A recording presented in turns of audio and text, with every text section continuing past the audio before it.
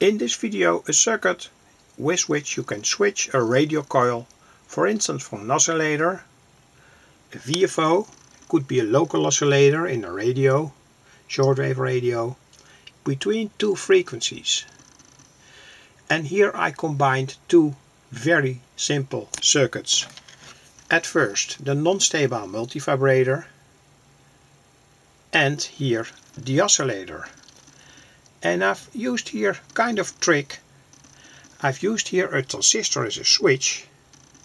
This transistor is driven by the multivibrator that every 6 seconds uh, switches on and off.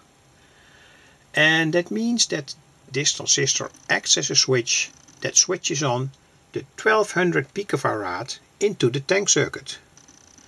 An extra capacitor here is a shortwave radio coil, that's here. Bridged here with a 1200 picofarad cap. And the transistor switches an extra cap from 1200 picofarad every 6 seconds. So this is what happens in that case.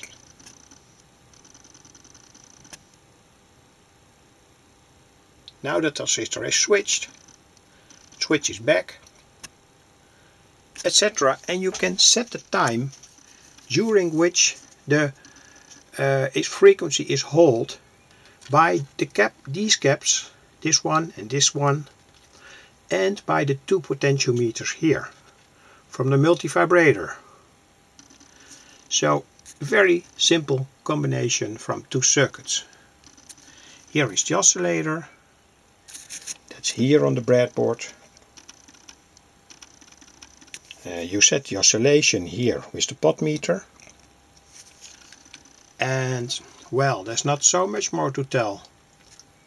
Of course when you use another coil another cap and another cap here you can get to other frequencies but the maximum frequency is limited here by the BC507B that can um, amplify high frequencies up to approximately 9 megahertz.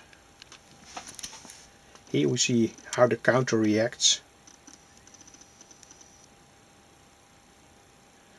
And it's a proof of principle circuit.